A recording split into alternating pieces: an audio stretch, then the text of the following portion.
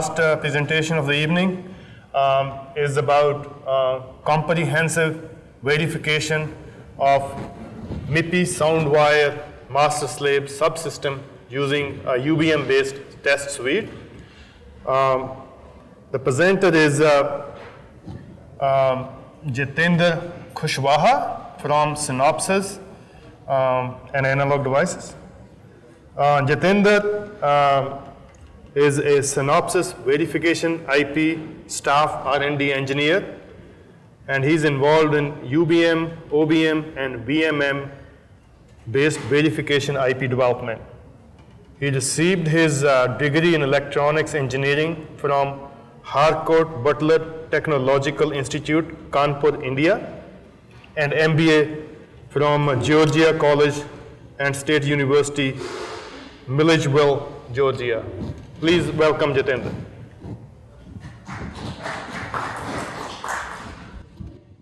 Hello.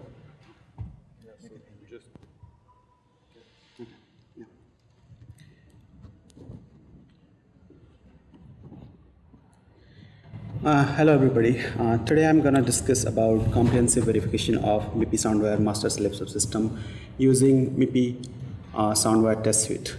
So this is actually uh, uh, actual design verification of analog analog devices uh, slave IP, slave IP with Synopsys Soundwire test suite.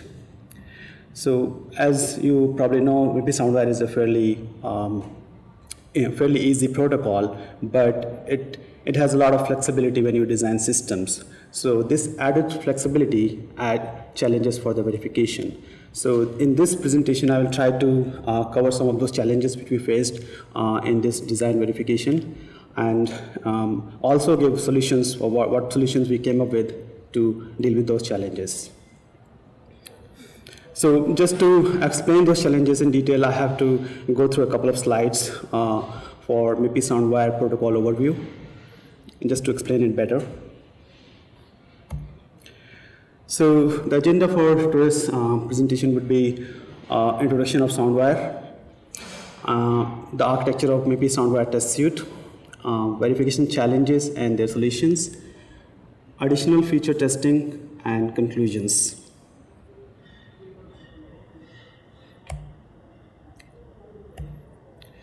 So I'll just go, go through this, um, some of the features which are actually um, different from the legacy uh, sound protocols, which makes uh, stand out uh, over legacy standards. So SoundWire is a multi-drop dual data rate bus. As data is driven on every clock, so this dual data rate helps to reduce power consumption by over 40%. SoundWire just has one clock, but it can have any number of lanes. So that means the one clock is, uh, adds the robustness and any number of lanes add scalability. And SoundWire transfer protocol is unified for any, any sort of uh, traffic, for example, PCM or PDM or any other um, user-defined data. The, the protocol is same. So you can transmit any, anything over the same protocol. Uh, one other advantage of SoundWire is the, the commands are embedded inside the frame. So uh, that means that you know there's no latency. If you want to send something in between when the frame is going on, you can. It, it's periodic, and so latency is very very low. Moreover, you don't need any other additional uh, programming bus like I2C or SPI. It, everything goes inside the frame. And SoundWire is very flexible in terms of designing any sort of uh, any sort of topologies across you know mobile or related domain. Um, the the possibilities are unlimited. I mean, you can design any sort of system with this, which is not possible with the legacy standards like I2S or uh, other other sound like SD audio. Um, and the major advantage of SoundWire is it's very very simple to implement as far as the the slave device is concerned. It's very, very small. It's uh, maybe around four or five K gates. So for a cost-effective solutions, for a, for a microphone, it's, it's a very um, cost-effective and easy to implement solution.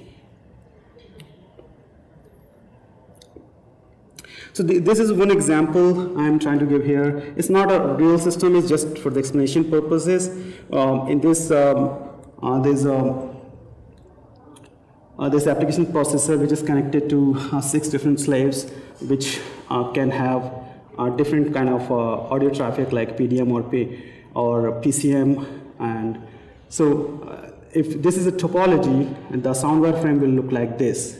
So as you can see the PDM is mapped to uh, the first column and uh, the second this PDM is mapped to the this column and the PCM is uh, time multiplex based on their frequencies.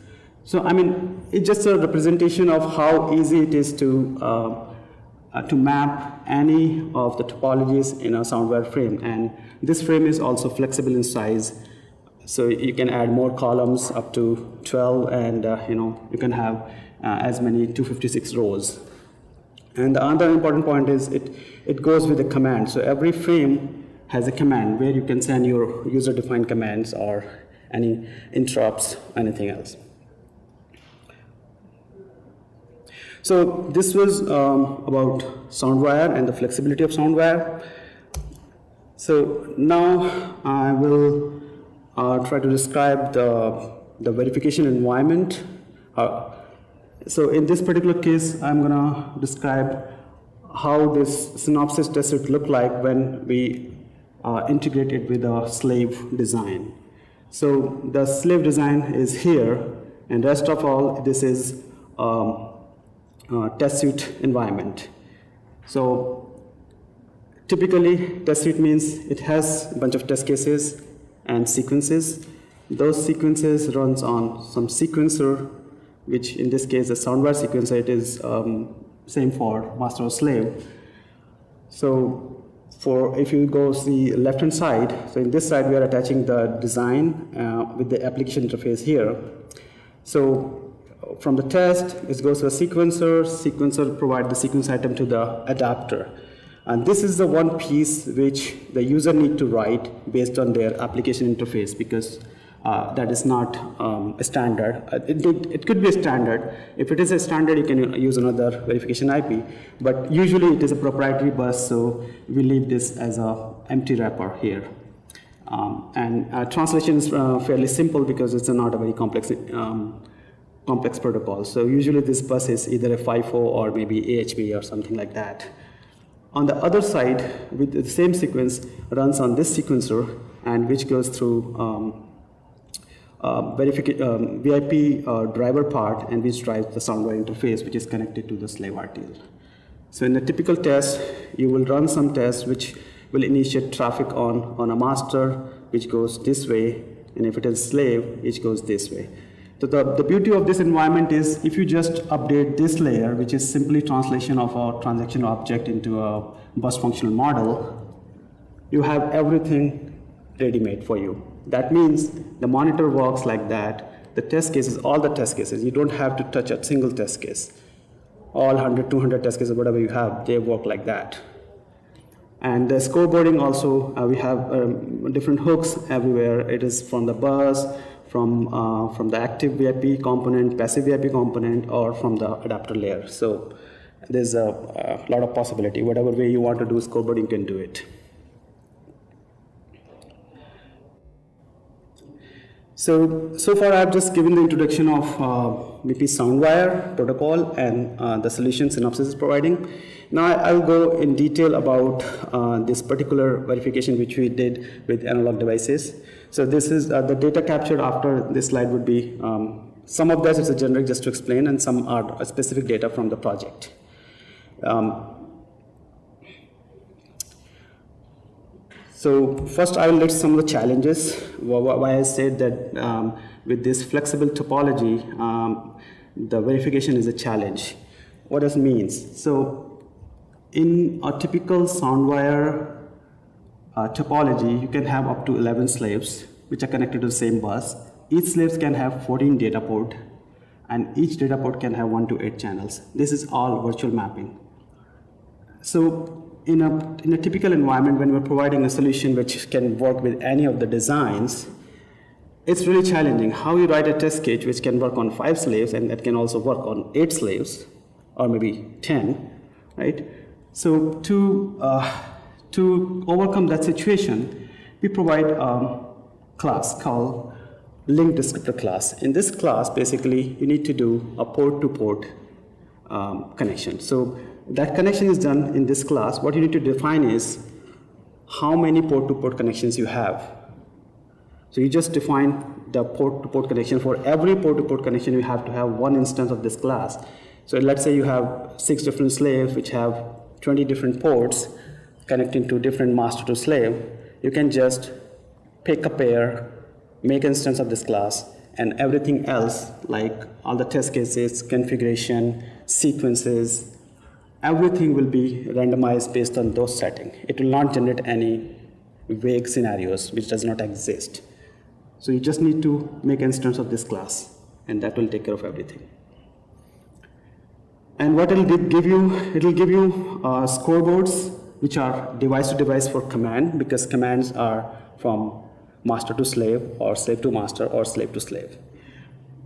And port to port payload. This port could be master port or a slave port, because uh, data travels from port to port, not, uh, I mean, from device to device as well, but it is meant to from one port to another port. So it'll generate that so this is how um, a command scoreboard looks like. For example, in this case, we have one passive slave, two active slaves, which are connected to master. So in this case, we will have three different scoreboard, and that will display the statistics like, like this. How many compare, how many or mismatches or matches. In this case, all are matching. And the payload scoreboard, in this case, the slave uh, design had four ports. So uh, two ports are connected to the master on that side and one port is uh, connected to slave 1, other is connected to slave 2. So based on this topology, we will have four different ports. And so we have four different uh, scoreboards. And again, it will display the statistics for all the um, relevant scoreboards.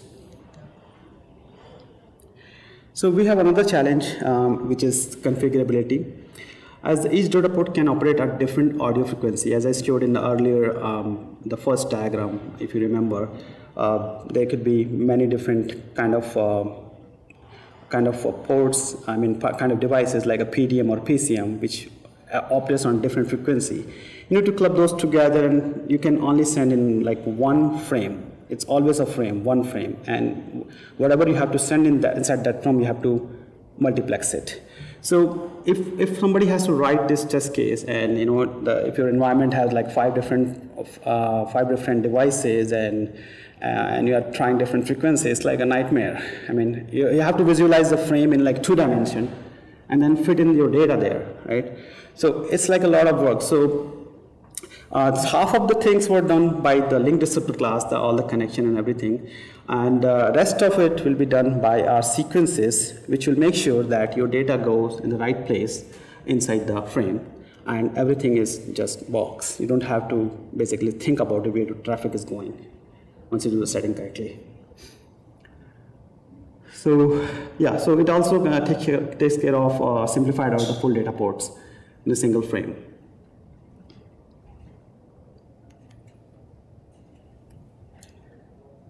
And um, this is an example of how you configure your, um, your devices. For example, in this case, there's a sync device which has three ports. Um, so we basically provide a macro. That macro takes care of uh, the configuration and basically sets the configuration for that particular um, uh, port. So in this case, um, it's, it's, it's code taken from the example test bench. So here we are setting the port number and what kind of port it is and the other relevant uh, fields which are important for that uh, for that port. For, for example, fixed channel or min or maximum word length, flow capability, sample rate, etc. So you have to basically do this. Everything else is done according to, I mean, all the test cases will be tuned according to that.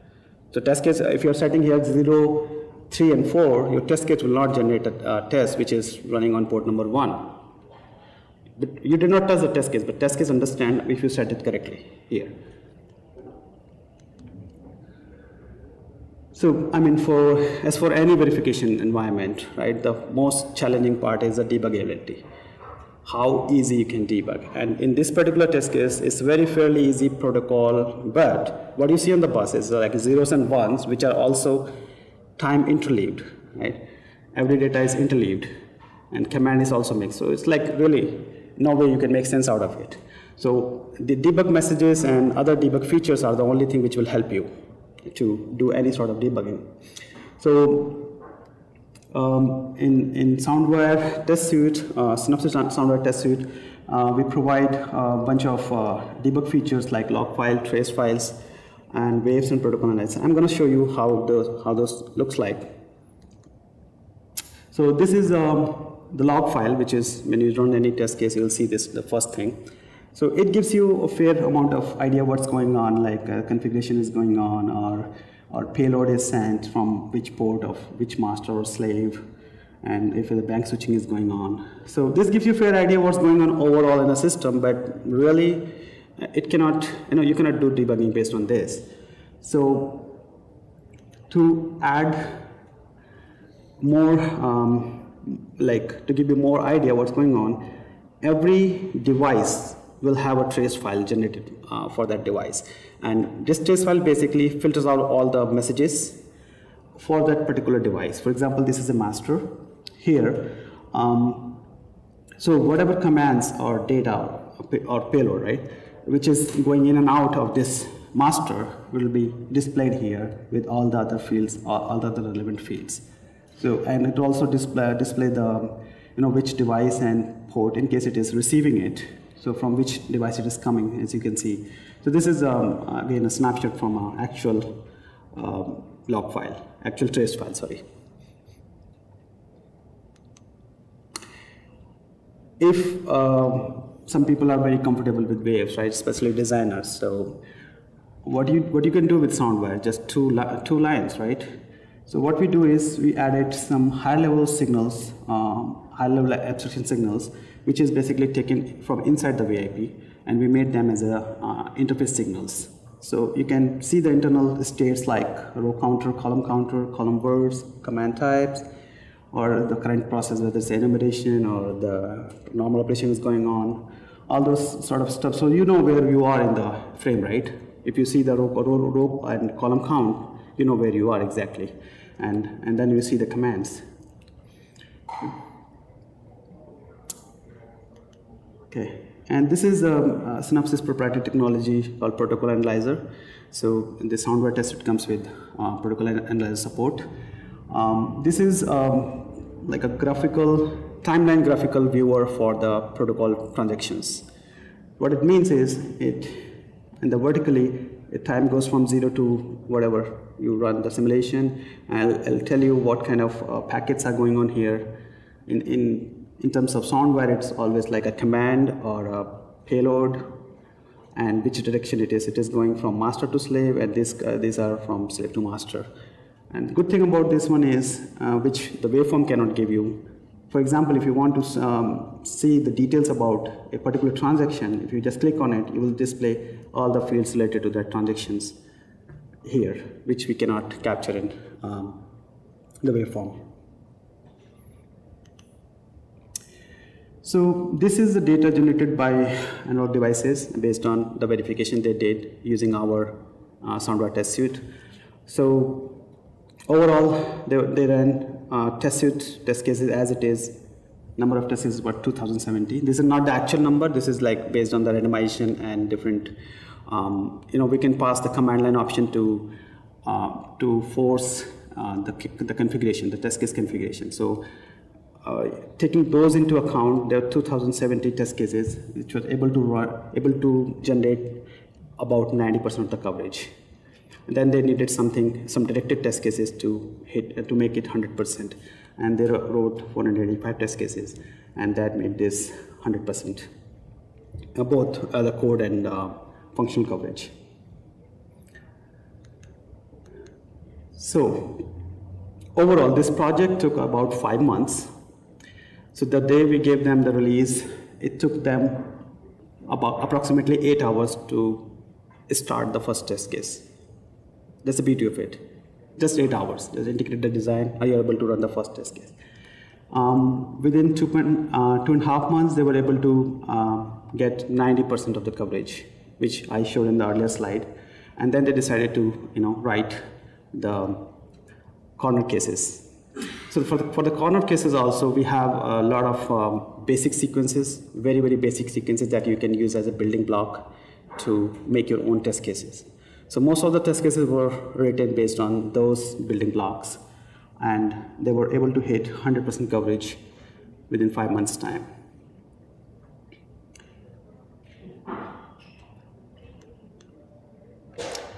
So our test suite also provides a verification plan, which is mapped to the specific, specification section. And um, what does mean is, like, if you have a hole, let's say if you, like, in this case, it's all 100%, but if you have a hole, if you have, like, 90%, if you go and see that verification plan, which can be back annotated from the actual regression data, you will see which area actually is lacking, and you can go and focus on that area, right, more test cases in that area.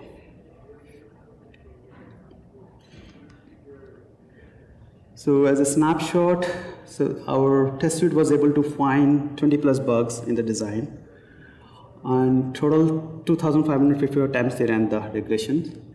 And actual test cases, the physical test cases were only 99. The 60 was provided from the test suite, and 39 was from the uh, corner cases. So this were able to generate about 2,500 different combinations because of randomization. So we don't have to write, physically write 2,500 test cases. Yeah, that's all. Thank you. Any questions?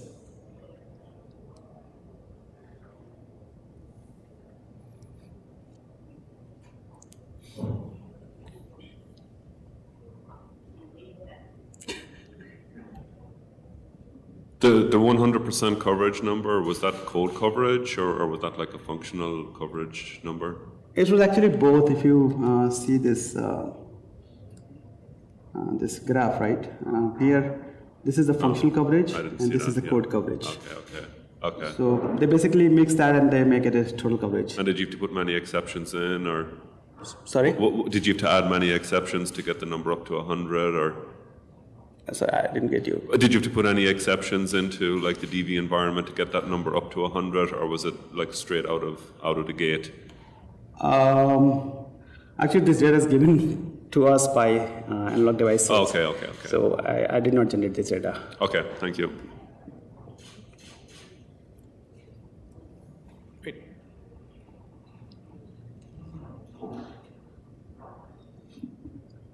Uh, so for the test case, right? So when you count those um, UVM test case, are those UVM test cases count as uh, direct test or, or random test? Mostly it is random. So how do you derive the 2000, 2000 number that uh, you, you say you have two, more than 2000 test case? Can you come? Uh, so, so you have you, you say you have two, more than 2000 test cases, right? So how, how do you derive that uh, the number? You, you have 2000, more than 2000 test Directed test cases? Yeah. So, Sorry, I'm not able to really understand. So if you look at the slide, you, they say, you say in the end, they say you have more than 2,000 test cases. Right. So how do you derive that number? Okay, so there are some parameters you can uh, fix when you do the randomization. So for example, um, you, you, want to fix the block count. So we provide the hooks. So when you run the test case, you provide the command line hook. Block count is fixed to zero. Then whatever random test will generate, always the block count will be zero. So like that, analog devices use different options to make different combinations. They wanted to be certain, right? When you run it randomly, it may take days, but still you won't be able to hit something. They wanted to hit a particular thing, so they made different variation of our test cases by passing the command line arguments. So that's how they were able to generate uh, 2060 scenarios. Thank you.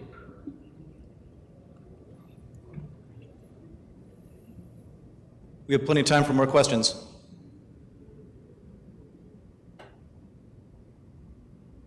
Okay. That was quick one then. Thank you, everybody. Yeah, sure.